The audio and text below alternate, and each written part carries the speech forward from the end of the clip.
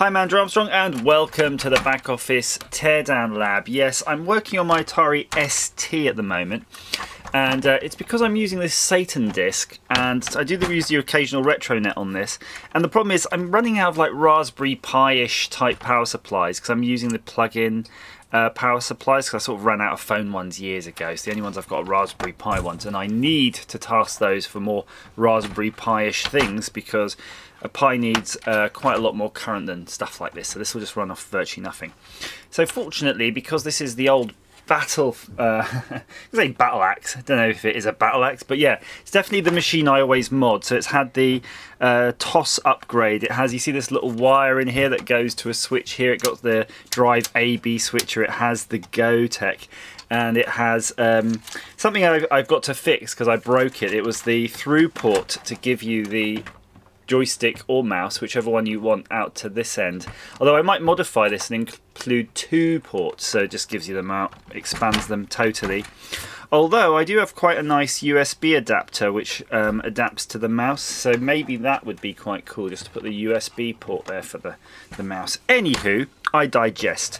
Um, the main uh, object of my desire right now is that SatanDisk, and if you haven't seen them, they're kind of groovy. Look, basically pops into the floppy drive connector and you put in your SD card and you put in your um, power. And it basically just emulates a whole load of hard disks depending on the size. You know if you've got one gig two gig. I think someone said as long as it's not uh, SDHC you can use up to um, a 4 gig. But non SDHC high capacity 4 gig cards are quite tricky so my plan is basically to wire this micro USB port into the system. You can see the Gotek, for example, here. This is the one that Methanoid sent me. Um, has basically a bunch of uh, power connectors here, and some of the pins actually even have the power on it, although they're a little bit annoying to get to because I did put uh, an angled connector when I was programming this Gotek up. So it's kind of tricky, but we'll work something out. Now, uh, what I'm going to do is basically cut the end off one of these standard USB wires. Um, although, I'm almost tempted to get the front of the Gotek is USB. You could probably plug this in and get the power, but that kind of works actually. I'm surprised I didn't think about that because when I'm using the hard disk thing, I'm rarely using the Gotek. In fact, as soon as you get a SatanDisk, you almost might as well just go back to having a straightforward floppy drive because that's tremendously useful in that context. Um, but let's just wire something in, shall we? So if you look in your ST, you'll find a bunch of wires, reds and blues. I suspect that the reds uh, is 5 volts and the black is ground.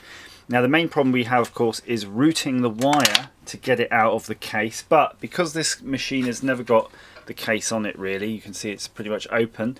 Um, I might just poke it through all those screw holes, which currently doesn't have a screw. So let's just crack on. Chop the end off the old USB. Bye bye, I love you.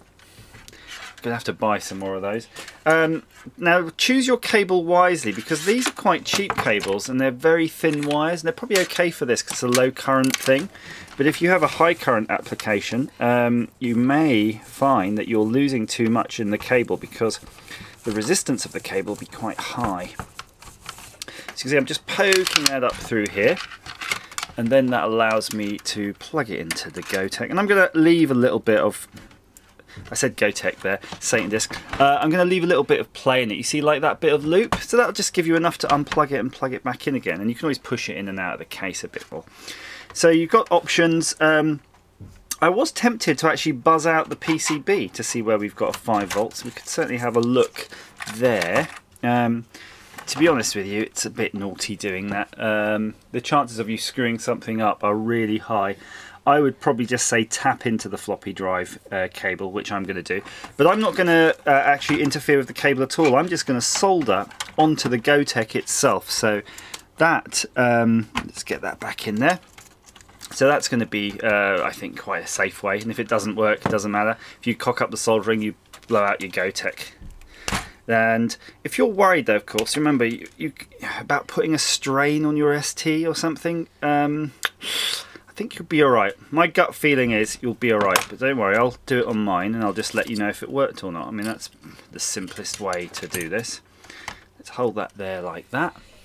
See if you can see it. It's very hard to position, to centralize the an ST in a camera. It's pretty much the same aspect ratio exactly as the camera. Now uh, you can do your tinning however you like. I've not twisted these because I'm a bit lazy, but put a little twist. A little twist, a flick of the wrist, it's what the showman said. And then give that a little trim, trimmy boo. But when you do your trimmings, get your dirty trimmings off the edge like that. Take them away from this area. We don't want to plague it. So you can see on your Gotek where the 5 volts on the ground, actually it's really clearly um, listed there. Curse me for putting this stupid pin header. I'm going to try to go in under that pin header and I think I really am going to twist this round because I'm going to use the camera as a little microscope almost as well. Oh, it's precarious. It wants to flip. Now that pin header was only put on to program it, so it's very rarely, like never, pretty much, oh, pretty much never used in anger. So I'm just going to slip in there and I can see that I've got here, written on the nomenclature, I'll just zoom out, you can see here, this is the diagram of that connector and I've got 5 volts and ground as those two pins that are un underneath. So you're seeing three top pins, there's two pins underneath. So this one is the ground pin, I'm just touching underneath and this is the 5 volt pin I'm just touching next to it. It's got a colleague Stimpy you idiot! So there we go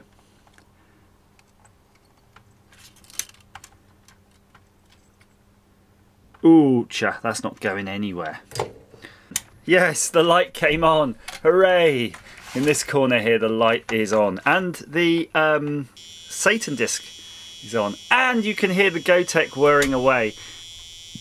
Because I fitted a buzzer into mine. So um, when the um, write and read write lines are being accessed here, it buzzes. So it sounds a little bit like an Atari ST when it's running.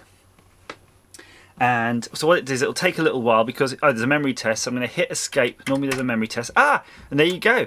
The uh, SatanDisk read light is flashing away. So I think that is great success and it is working. The read light is flashing. Perfect. So that's a nice easy fix. Oh, hello. Wrong thing. Let's unplug our wire and let's just slip this on. Let's see if the old Casey Boo, Casey Boos goes on. There you go. That's not too bad, is it? I've seen way worse mods than that. That's fine for me. As ever, thanks for watching.